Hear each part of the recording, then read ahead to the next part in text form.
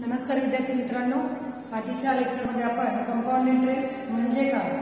Compound interest का calculate केला जातो आणि कंपाऊंड इंटरेस्ट कसा कॅल्क्युलेट केला जातो हे पाहिलेलं आपल्याला लक्षात आलं की ही जी प्रोसेस आहे कॅल्क्युलेशन ऑफ कंपाऊंड इंटरेस्ट ती थोडी क्रिटिकल वाटली. म्हणून त्याच्यामध्ये काही फॉर्म्युले याचा शोध लावले ठीक आहे? आपण सिंपल इंटरेस्ट आलेले त्या पद्धतीनेच कंपाऊंड इंटरेस्ट सुद्धा खूप सोपा आणि साधा आहे.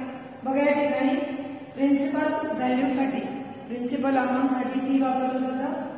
रेट ऑफ इंटरेस्टसाठी आर वापरलं जातं. हा रेट ऑफ इंटरेस्ट कसा असतो? पर पूर्ण वर्षाचा असतो. पूर्ण वर्ष म्हणजे किती? बारा महिने. आणि पूर्ण वर्ष म्हणजे किती दिवस? तीनशे पासष्ट दिवस. ओके?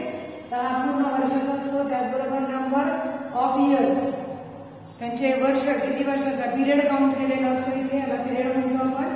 आणि इथे period in the years amount त्या पिरियडमध्ये जी फिगर तुम्हाला दिलेली आहे त्याला अमाऊंट म्हणतात अमाऊंट ए साठी वापरलं जातं. ठीक आहे? तर मग आपला कंपाऊंड इंटरेस्टचा फॉर्म्युला काय तयार होतो? A is equal to P okay A is equal to P in a bracket one plus R upon hundred आणि ब्रॅकेटचा एन म्हणजे नंबर ऑफ इयर्सने आपल्याला त्याला ब्रॅकेटला मल्टिप्लाय करावं लागतं. जितक्या वेळा मल्टिप्लाय करू तेवढा त्याचा घातांक तयार होतो. ओके? दोनदा डिवाइड केला दोन दुसरा घात तिसरा घात चौथा घात म्हणजे नंबर ऑफ इयर्स किती वर्षाचा इंटरेस्ट कॅल्क्युलेट करायचा आहे म्हणून त्या वर्षाच्या इयर्सने कॅल्क्युलेट करण्यासाठी त्याला मल्टिप्लाय किंवा डिवाइड करण्यासाठी त्याला मल्टिप्लाय करतो आपण. म्हणून मल्टिप्लाय किती वेळा आहे? नंबर ऑफ इयर्स तेवढ्या वर्षाला त्याला घातांकाने डिवाइड करावं लागतं मल्टिप्लाय करावं लागतं. म्हणजे इथं आधी डिवायडेशन नंतर multiplication okay? Then compound interest त्यालाच आपण काय म्हणतो? सी आय इंटरेस्टला S I compound इंटरेस्टला C I एमसीक्यूला येऊ शकतो? Is given by C I is equal to A minus P compound interest कसा कॅल्क्युलेट केला जातो? तर total amount minus principal amount okay A for total amount of the year त्या इयरमध्ये किंवा त्या पिरियडमध्ये जी अमाऊंट त्यांनी दिलेली आहे, ती टोटल व्हॅल्यू ओके जी प्रिन्सिपल व्हॅल्यू आहे ती. ए मधून काय होतं पी मायनस होतं C I is equal to compound interest is equal to amount of the whole year minus principal value of your loan of the business loan okay so formula काय C I is equal to A minus P पण आपण equal to काय is equal to P in bracket one plus R divided by hundred आणि ब्रॅकेटचा N घात. घातांक असतो. आणि मायनस पी त्याच्यामध्ये आपण काय केलं? बघा this compound interest is equal to P काय झाला आता? दोन वेळा आलेला आहे. मग आपण तो कॉमन फॅक्टर म्हणून काढू शकतो. बरोबर? मग कॉमन फॅक्टर पी काढला आपण. पण इथे प्लस असल्यामुळे इथला वन आहे आणि नाही तो दिसत नाही. कॉमन पी काढले आपण. बरोबर?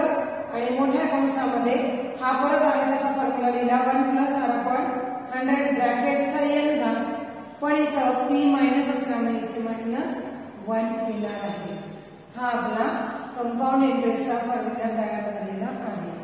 Compound इंटरेस्टचा short formula A minus P आणि एचा फॉर्म्युला हा आहे पण पी कॉमन काढल्यामुळे कंपाऊंड इंटरेस्टचा हा न्यू फॉर्म्युला क्रिएट झालेला आपल्यासमोर दिसतो. खूप सिंपल आहे हे पण अवघड घाबरण्यासारखं काही नाहीये. आपल्याला जर शिकायचंय तर त्याला सिम्प्लिफाय करायचं आपण लक्षात ठेवायचं. ते अंडरस्टँड करायचं म्हणजे आपल्या लक्षात येऊ शकतो. पुढे बघा काही नोट मी या ठिकाणी दिलेल्या आहेत महत्त्वाच्या note compound interest greater than simple interest compound interest मोठा आहे सिंपल इंटरेस्टपेक्षा. त्यावेळी रेट ऑफ इंटरेस्ट जर तुम्हाला एकच दिला असेल तर तो दोघांसाठी सेम रेट ऑफ इंटरेस्ट आपण यूज करायचा आहे. कॅल्क्युलेशन करताना. दुसरी महत्वाची note compound interest convenient to the find amount compound interest amount find out करण्यासाठी कन्व्हिनियंट असेल then compound interest is given by subtracting principal म्हणजे प्रिन्सिपल व्हॅल्यू मधून आपल्याला कंपाऊंड इंटरेस्ट काय करायला लागेल?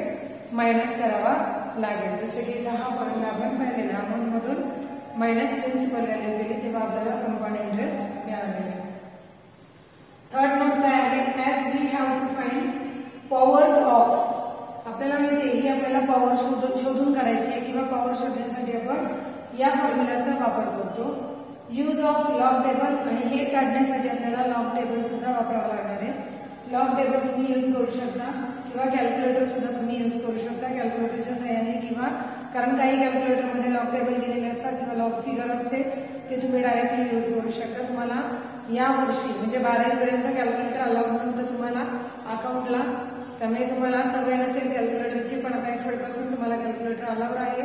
एफ ला तुम्ही मॅथ्सला कॅल्क्युलेटर यूज करू शकता असं त्यांनी एक्झाम्पला सुद्धा सांगितले आणि इथे सुद्धा इंडिकेट केलेलं आहे. ह्या तुमच्या तीन नोट झाल्या चौथी नोट सांगितली आहे simple interest and compound interest for one years एका वर्षासाठी दोन्ही दिलेले सेम असेल when interest is calculated annually त्यावेळी आपण इंटरेस्ट कॅल्क्युलेटेड करताना वर्षाचा पूर्ण वर्षाचा इंटरेस्ट कॅल्क्युलेट करावा लागतो. एक्झाम्पल घेतलं मी या ठिकाणी. फॉर एक्झाम्पल म्हटलं बघा या ठिकाणी मी एक्झाम्पल घेतलंय. Find the compound interest on rupees one thousand on rupees one thousand one thousand ही काय? ऑन रुपीज म्हटलं की मी तुम्हाला काय सांगितलंय? फी म्हणायचं याला. बरोबर? अमाऊंट असेल तर अमाऊंट शब्द येतो तेव्हा ए होतं ते. ऑन रुपीज म्हटलं की हे पी झालं. टेन पर्सेंट म्हटलं की रेट झाला. पर ॲनम म्हटलेले पर ॲनम सुद्धा खूप महत्वाचं आहे. मंथमध्ये रेट आहे. का क्वार्टरली आहे? किंवा डेजमध्ये रेट आहे हे आपल्याला पाहावं लागतं. पर एम असेल तर सोपं जातं कॅल्क्युलेशन आणि फॉर थ्री इयर्स तीन वर्षासाठी आपल्याला दहा टक्के व्याजाने एक हजारावरती कंपाऊंड इंटरेस्ट कॅल्क्युलेट करायचा आहे. पण त्यांनी तर पुढं काय सांगितलं बघा मोठी अट आहे. Interest is compounded half yearly तो इंटरेस्ट तुम्हाला अर्ध्याच वर्षाचा काढायचा आहे. किती? अर्ध्या वर्षाचा पूर्ण वर्षाचा काढायचा नाही. आता हाफ इयरली म्हटल्यावर तुम्ही इंटरेस्ट वर्षातनं दोनदा पे करणार. तीन वर्ष म्हणजे तुमचे किती? दोनदा पे करणार म्हणजे तीन गुणे सहा. ओके? सहा वेळा पे करावं लागेल तीन वर्षातनं.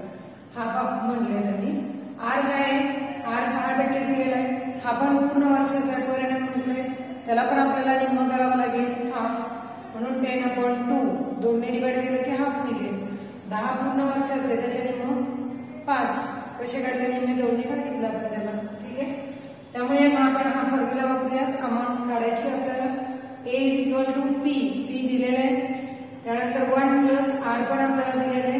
Hundred ब्रॅकेटचा N okay is equal to P thousand दिले.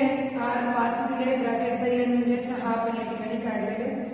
हे तुम्ही कॅल्क्युलेटरवरती केलं कॅल्क्युलेशन तर तुम्हाला उत्तर किती मिळेल? एक हजार तीनशे एकेचाळीस. म्हणजे तुमचं काय झाली? अमाऊंट त्या वर्षामध्ये तुमची अमाऊंट किती तुम्ही पे केली किंवा किती तुम्हाला पे करावी लागली. हा झाला तुमचा कंपाऊंड इंटरेस्ट ठीक आहे? या ठिकाणी कंपाऊंड इंटरेस्टचा फॉर्म्युला कसा क्रिएट झाला त्याच्यासाठी काय महत्त्वाच्या नोट्स आहेत हे आपण बघितले. पुढच्या लेक्चरमध्ये आपण कंपाऊंड इंटरेस्टचे काही प्रॉब्लेम सॉल्व्ह करणार आहोत. पुढच्या लेक्चरमध्ये आपण पाहूया थँक्यू व्हेरी मच